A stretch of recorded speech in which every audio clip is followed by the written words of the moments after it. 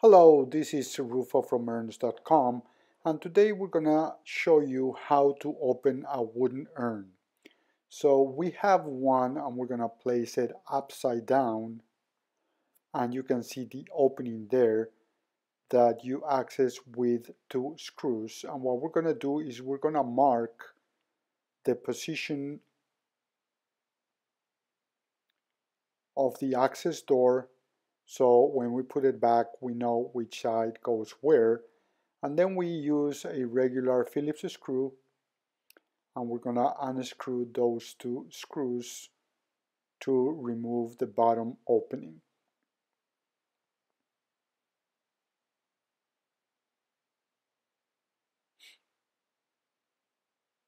Just a simple procedure. We're going to remove the opening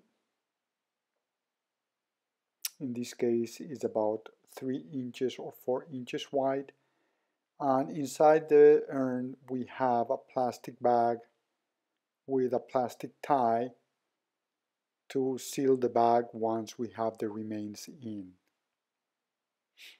Then what we're going to do is we're going to place the bag inside the urn. So we put it in, tuck it in,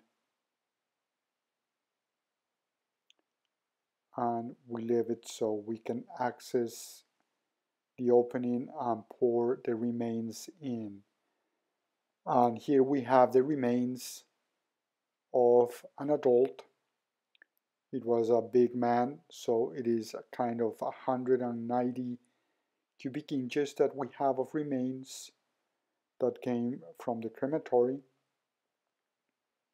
in a plastic bag and a temporary cardboard box. And what we're going to do is we're going to put the bag inside the urn bag and we're going to start pouring the remains in. Just a simple procedure.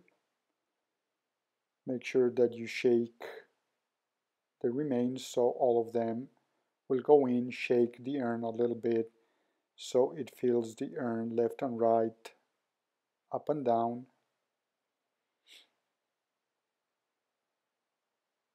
We shake the temporary bag one more time, make sure all the remains are transferred. All of them are in the plastic bag inside the urn. We shake it a little bit more, make sure that all of it fits in the urn. Then we twist the plastic bag and apply the plastic tie. We seal the plastic bag, twist it a little more,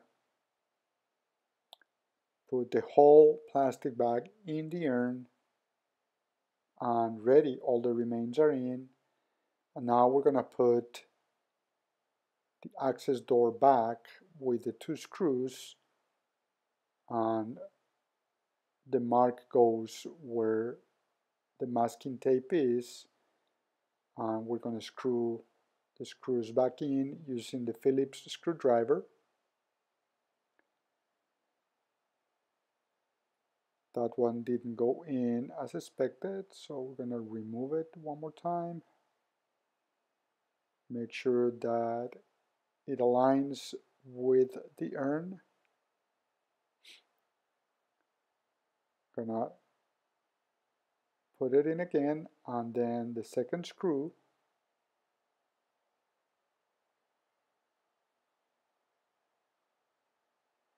okay totally aligned.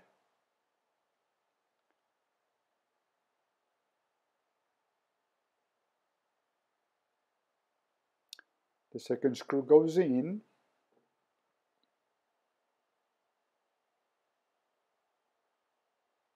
remove the masking tape marks and ready